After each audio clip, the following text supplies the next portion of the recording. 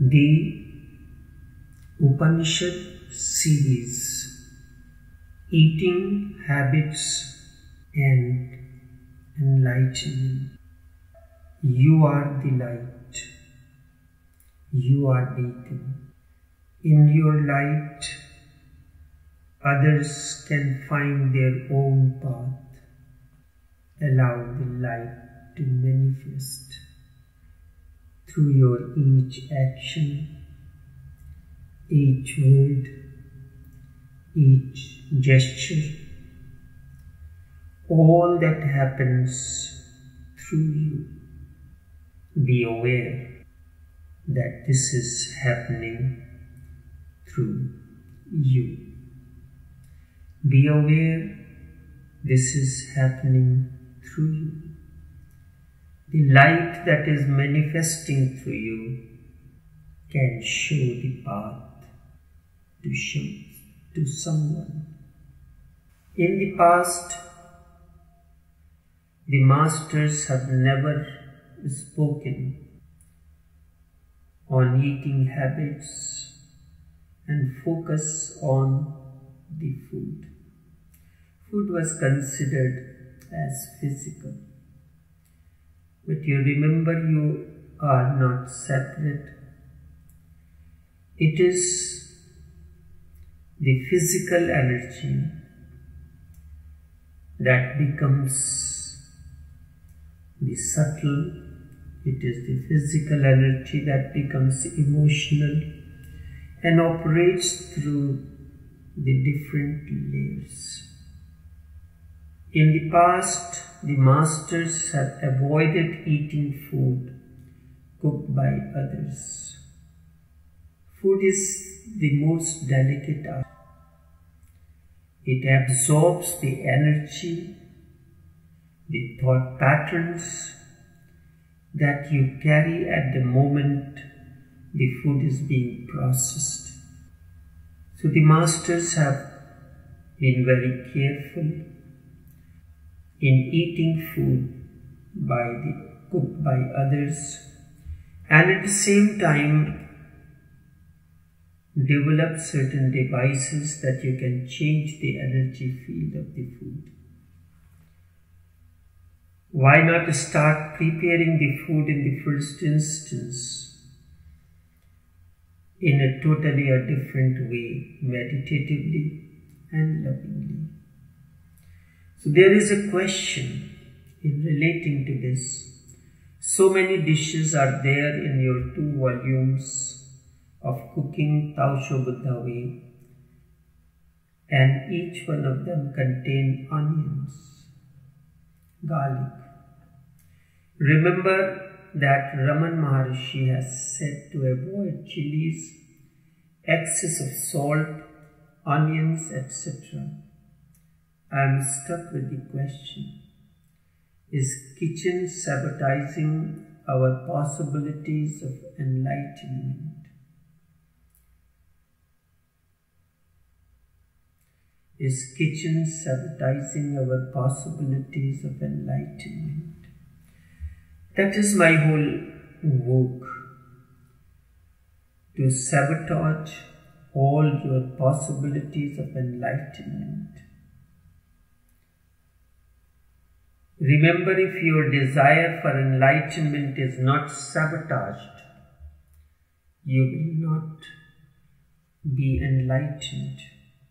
But there is no need to be angry with poor onions, garlic, chilies, or anything for that matter. If you are in a deeper meditation, you will not bother about these things. But you remember onion, chilies, garlic, they are innocent and they are as spiritual as you are. They are connected to the existence in the same way as you are.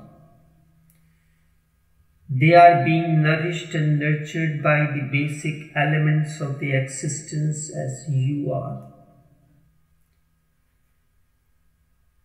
And they are as spiritual as you are and far deeper in meditation than you can ever be.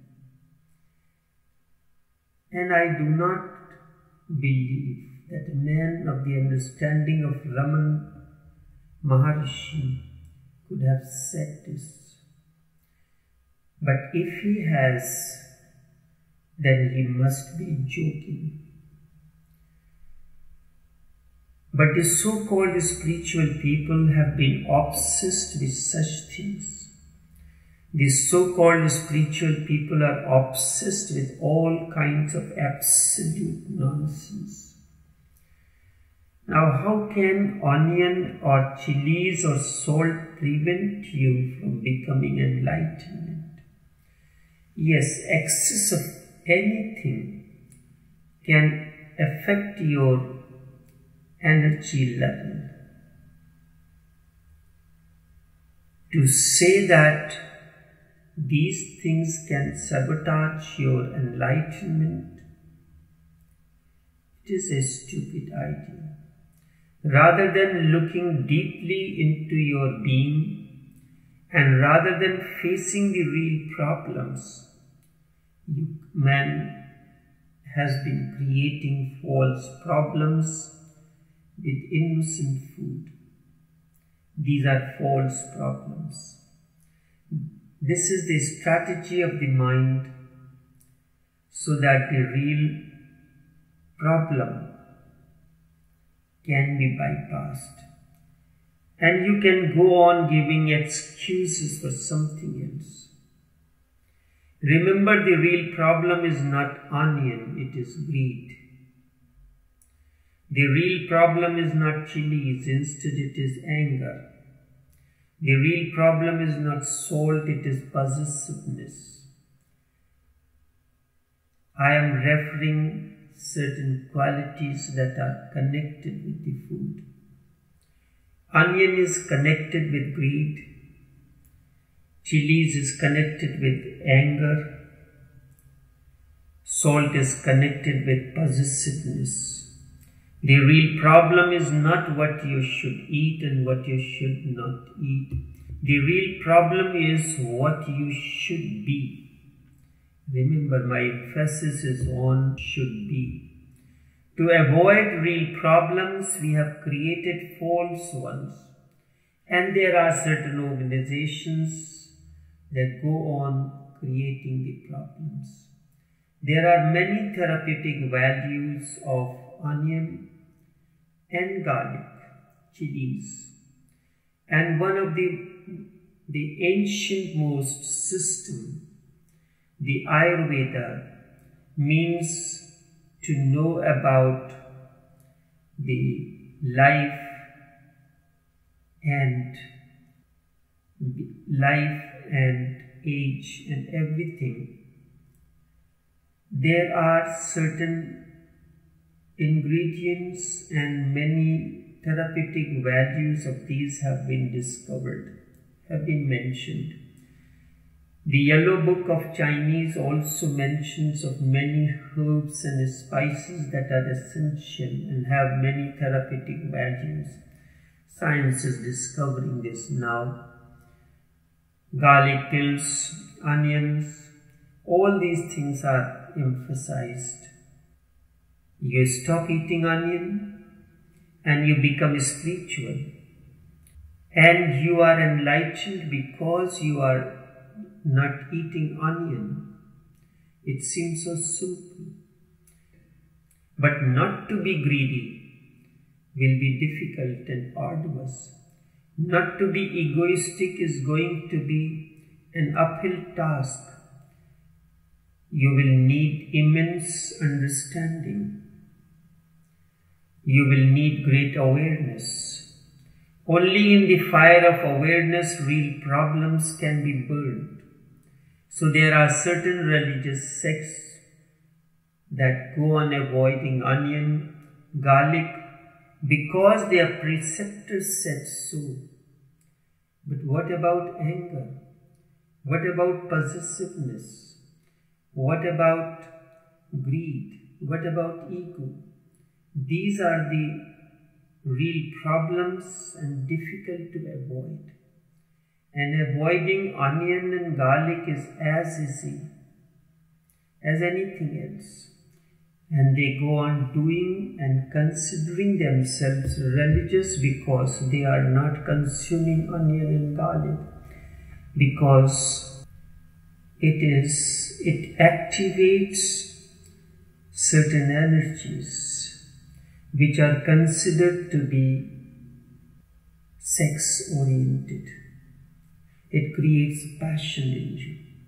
But you remember, if you do not have energy, if you do not have a passion, how can you continue in life?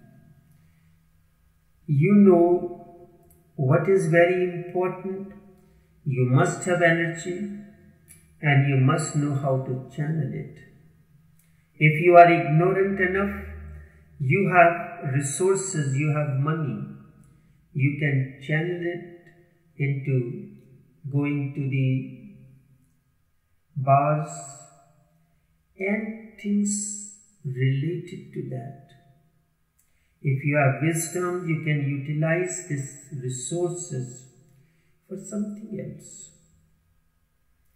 I have heard of a person who has never been religious in his life. He never went to church or gurdwara, although he is of Sikh faith by his appearances. He built a big hotel-like complex with lot of facilities. The, that facility is built in Vancouver. Is 200 plus rooms with attached bathroom and all that facilities that can be conceived of. And he, after building this complex, he handed over this to the government saying that use this facility as the old age homes for my people. So whatever pension the government gives and these elderly people get, that is utilized for providing them a 24 hours medical facility, the best of the old age shelter. You can utilize your resources in that way, but if you are afraid that if you have more money you may use in the wrong way, then that is your problem. Onion is not the problem. Garlic is not the problem. Chili is not the problem. If you are moderate and you know how to use it and you understand their therapeutic values and include these as part of your diet, will be beneficial. Kyolic is a brand of aged garlic which comes in a liquid form. It is an expensive medicine that's being used. And doctors have suggested this is 100% organic. Kyolic is the brand name. It comes in 2 ounce bottles. It is pure liquid aged garlic. And when you add a few drops of this on your food, whatsoever you are cooking, the therapeutic values, the nutritional value of the food changes. If you have an understanding, you can create a food which will be spiritually balanced for you, that will give you energy at the physical plane, choice of your oils, choice of your fat, choice of your ingredients, you can even change the energy patterns of the food that you are using. So is that understanding important? Or simply rejecting that I will not earn the money, I will not use these ingredients, so what will happen? That the body will not have the energy to continue your exercises, to continue your austerities that you need to do along the path. This person of a Punjabi faith, of Sikh faith, built 350 room facility, a complex. What would have been his resources? He, uh, he used all his wealth that he did earn and built a complex and converted this. He could have done very easily, to make it into a hotel and multiplied his financial resources Instead of this, he has handed over this to the government in this in Vancouver area, and this facility is being used by the government to provide the shelter to the elderly people. I have seen such a beautiful complex where 24 hours medical facilities, the entertainment, the exercise, all that people may have been deprived or they did not get an opportunity or their children do not have a facility to take care of them. They are being provided all that is necessary. You earn resources and utilize these resources for the benefit of humanity. Humanity suffered because of these false prophets. And false prophets are those who tackle the false problems. First, they create a problem and then they start solving it. And they make much fuss about it and seem to be much too active. If they fail, certainly nothing is achieved. If they succeed, then too nothing is achieved. But one thing, they can camouflage the real problem. They can focus your attention on something false like a toy. It looks a real problem, but it is not. Now look into how can onion prevent you from becoming meditative? How can onion become a problem in the process of being meditative? How can onion prevent you from becoming silent? There is not any problem in that. But you want to be spiritual, you want to be known as a spiritual, you start doing foolish things like avoiding onions and garlics and saying all kind of false things about these. These are herbs with ter- many therapeutic values. If tea can become meditation ceremony, as Zen utilizes a tea ceremony as an important part of meditation, then why not smoking? If people can drink tea and make a meditation process, meditative process, so can we smoking. I am not saying you should smoke. Remember that. I am not saying that you should not drink. I am not saying that these things are that you have to prevent from, or these things can prevent you from becoming spiritual. Jesus used to drink. Gurdjieff used to drink. That has not prevented them from becoming enlightened. However, whatsoever you do, let there be total awareness. Transformation will happen. Transformation depends on your level of awareness. Remember, anything can prevent you from becoming enlightened is your knowing. Anything that can prevent you from becoming enlightenment is your knowing, your thought process, and nothing else. And there is real task how to drop the thought process. And because you feel important there, you are unable to solve that. So you create many small problems.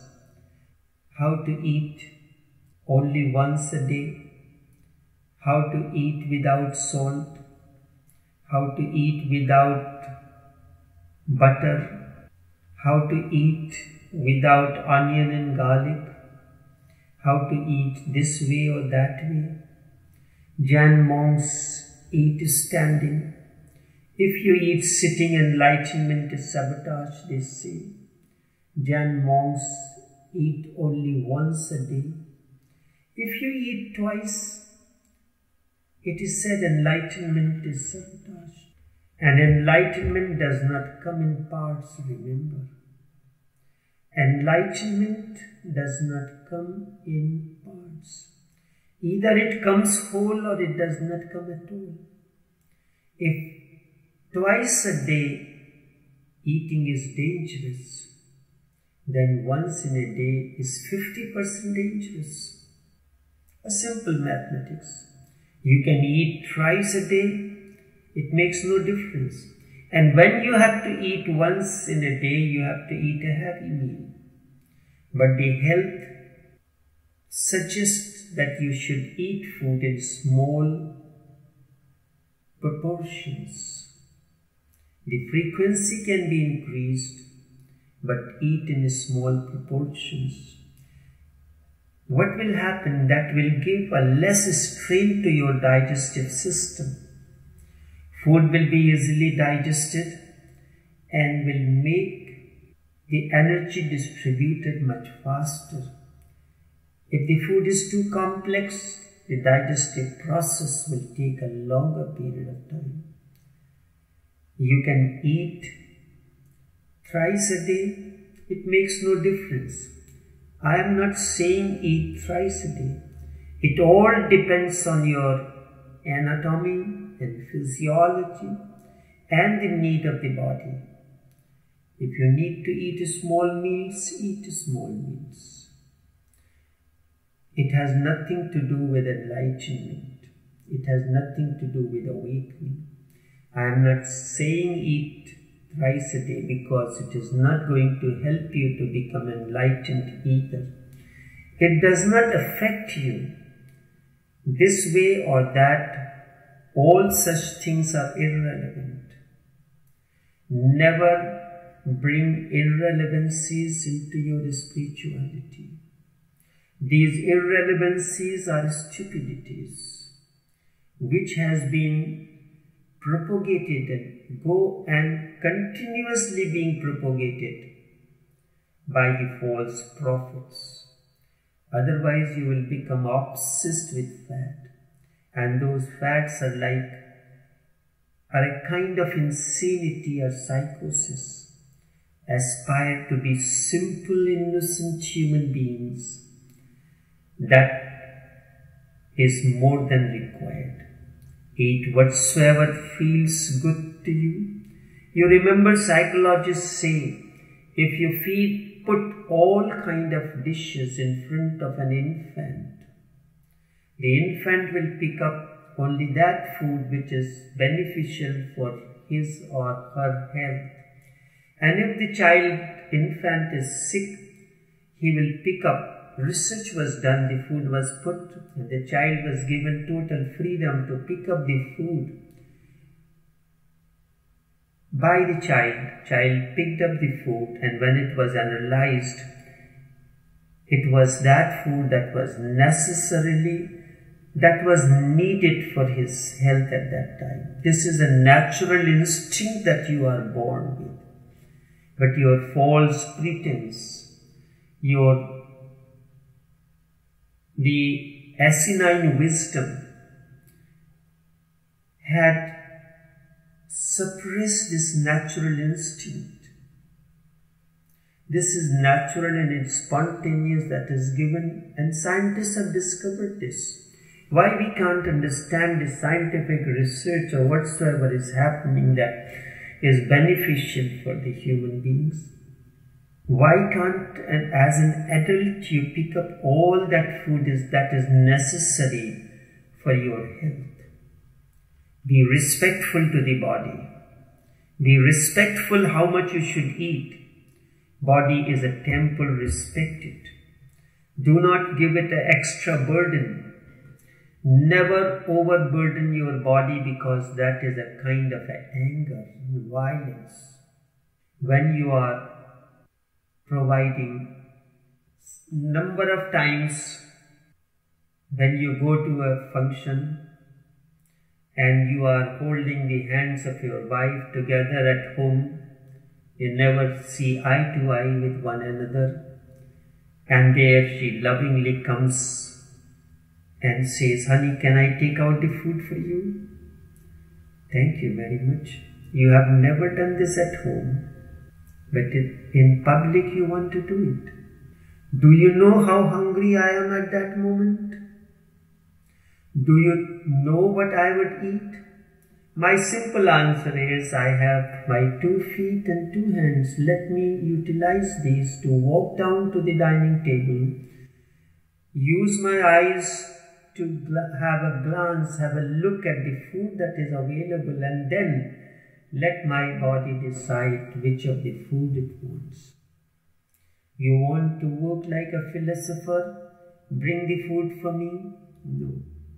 I want to use my feet to walk down to the, the table where the food is being served, use my eyes to have a look at the food, use my nostrils to smell the aroma of the food, and then use my two hands to work simultaneously to create in a meditative trance when the left, you remember the left side of the body is connected to the right side of the brain and vice versa. Holding the plate in the left hand or the right, right hand as the situation may be, and using the other hand to take out the food, I am creating a balance of my energy between the right brain and the left brain. Using my two eyes to have a look at the food that is there served in front of me using my nostrils to get the smell, the aroma that comes out of that, and feet to support me to, to support all these organs the hands, the eyes, the nostril. Isn't it a meditativeness? You can utilize and then if there are so many dishes, there is no need to pounce on one item Take one piece of each, have a taste of it, and if you like a taste of a particular item, why not taste the other as well? Maybe the other may be even better tasting than this. Never overburden the body. So I would prefer to go and take out my food and remain in that state of festivity. Be there meditatively utilizing every part of my body, every sense organ, the organs of perception and organ of action to reach there. When you overburden your body, that is a kind of anger which you do not know. It is anger in the subtle form, it's violence. And violence is so subtle that you have never washed it. When a person goes on stuffing himself he is being violent with his own body. Have you observed the people eating the food they do not chew? Scientists say that you must chew your food 32 times. But these people go on swallowing the food. And what does it show? There is so much of anger in the person. In order to control the anger. When you go to the therapeutic centers, they allow you to chew. The meditation. When a person goes on stuffing himself, he is being violent with his own body, he is destructive, or he can go on in a fast, then again that is a violence. Just see the point of it. You can eat too much, or you can and you can be violent you can fast and you can be violent and you know when you fast what happens body needs the food at a certain time the digestive process begins and when people go on fasting and they say that they are losing weight, what actually happens? The body starts consuming, body becomes carnivorous. It starts consuming the fat. And you feel very happy that you are fasting, you are eating vegetarian food, the fruit juices, the fruits, everything else.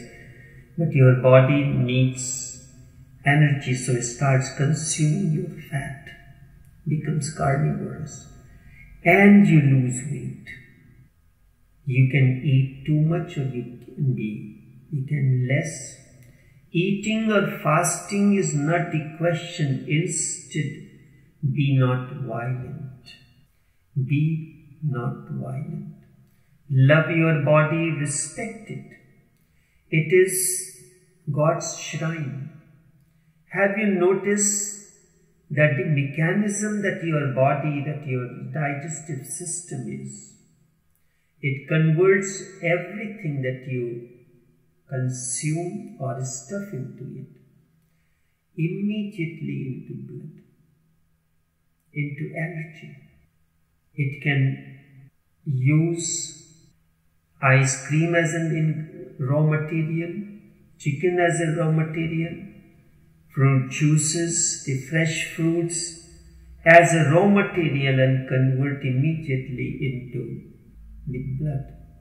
In order to can any of the scientific lab convert chicken, piece of fried chicken or fries or something else into blood? How much resources will that require? And in order to convert the pieces of the fried chicken into blood, a separate lab will be needed millions of dollars investment. And to convert French fries into blood, another factory will be needed. But your stomach works as the miracle. It can convert anything that you consume into it. And it has been doing religiously for you. But it is not. It is God's shrine. It is the temple. It is the greatest miracle that has been given to you. But what? To abuse it? Or to understand it and utilize it in the best possible manner? But it is very easy to move from too much stuffing to fasting because the mind always easily moves from one extreme to another or from one obsession to another. Or first you go on stuffing your body and hurting it, loading it unnecessarily, then one day you turn against it. You become the enemy of the food, as if it has been the body's fault. Then you start fasting. And again you start torturing the body. What is this? Is it not the violence? And violence is so deep in man that you have to watch it continuously, otherwise, it will come from some other way. It will enter you in a back door. One can be in a very subtle way violent. Watch it. If you do not like onions, it is perfectly good. There is no need to eat them. But you need not condemn them. And it, if others eat them, you need not think that they are not spiritual or something. You cannot become spiritual so easily. Indeed, spirituality does not depend on such bogus things. Spirituality knows only one taste, and that is the taste of awareness. Spirituality knows only one thing, and that is the taste of awareness. Onion or no onion, chilies or no chilies, salt or no salt, nothing matters. Spirituality has only one taste, the taste of awareness. Stick to it. And do not get distracted by small things. If you want to abstain from anything, then abstain from anger, abstain from greed, abstain from unconsciousness, abstain from violence. Always choose the taste of awareness. Let your awareness be the only important ingredient only important ingredient that you need to be part of your food. And without awareness, the food will be insipid. It will be undivine. I introduce awareness as an important ingredient in whatsoever you do. Let your awareness be the only important ingredient that food needs, and without awareness, the food will be insipid and undivine. You have made a reference to my two volumes of cooking Taosho Buddha Way and mentioned of too many dishes. Remember, the body needs variety. There are different parts of the body that require the cells. What does the cell need? Do cell needs carbohydrate? Do cells need salt? Cells need a good quality of fat, a good quality of oil. And remember, people under the false pretense say that they are using just a few drops of food in their body. Very right. Do you use just a few drops of oil in your car when you go to service your car, saying that your car does not need too much of oil and the car should also be uh, oil free long time. We used to consume the fat in a profuse quantity during the winter time.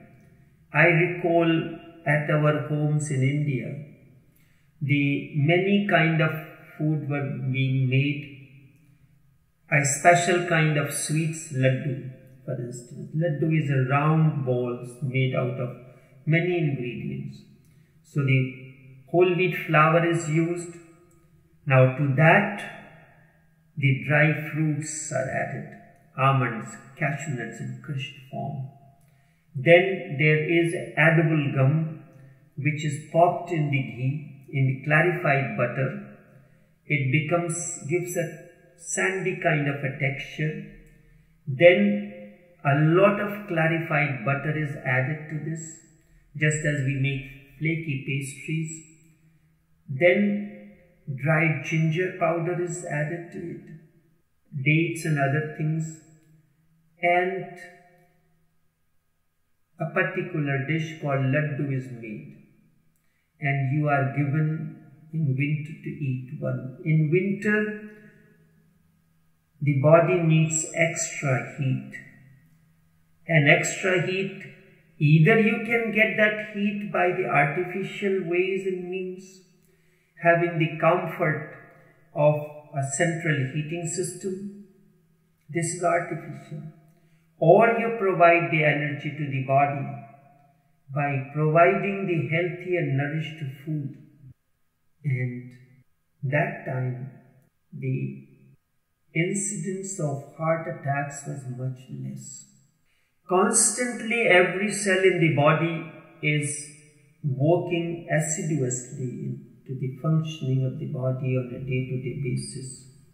And when a mechanism works, it needs lubrication. And if you do not provide the oil to it, it gets dry, it becomes difficult to function, excess heat it will generate. What is important? The kind of fat that you provide. Under the ignorance, we say we are using the vegetable oil. But do you know where does it come from and how it is done? The oil that is naturally hydrogenated Hydrogenated is the process You look at the coconut oil, you look at the clarified butter, it has a natural tendency to solidify. This process is known as hydrogenation. Now we create the, artificial process of hydrogenation. You can take any oil and presence of nickel, you pass hydrogen into it.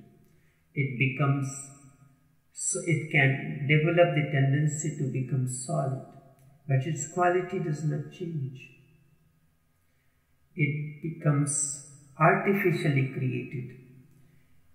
But its basic tendency has not changed. It is not easily consumed by the body. Coconut oil is monolaurin. It's a chemical structure. But it has certain things which are beneficial for the body. It lubricates the system and the excess it does not retain or clog the arteries. The people who had been working on the oils, they say for the past 60 years, while the America was propagating the soybean oils as an important ingredient for heart health. And that is how it has been promoted.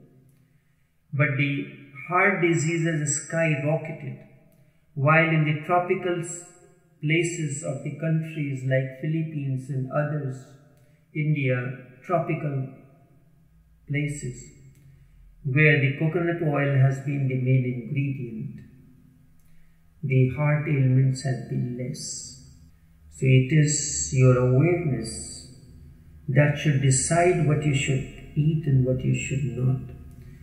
Every cell of your body requires fat.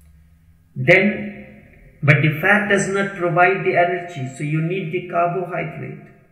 And in carbohydrate, you can use the empty calories or you can use the calories that are nutritiously beneficial to the body. Between potato, empty calorie, and sweet potato, sweet potato is better. It is a rich source of natural sugar that is needed by the human body and it has the quality of time release. Addos. There are many such root vegetables which have not been contaminated or cloned. They are beneficial, so you need the protein. You need the, now it is said, that you do not provide one kind of protein. The mind needs the variety. Mind always looks for the variety. The dry fruits, almonds, cashew nuts, pistas, walnuts, they are important source of proteins as well as they provide the oil in a subtle form, milk, the other ingredients butter. All these are the source. So your food from empty calories should be nutritionally rich and then to nutritionally dense foods. You have made reference of the two volumes of the books Taosho, Cooking Taosho Buddha Way, but you did not take the slogan. It has a slogan to follow cooking lovingly, cooking meditatively. Because it is a cookbook, not a book on eating, although the two are related, cooking lovingly, cooking meditatively, and then while you are eating food, let awareness be the most important ingredient. Eat with awareness.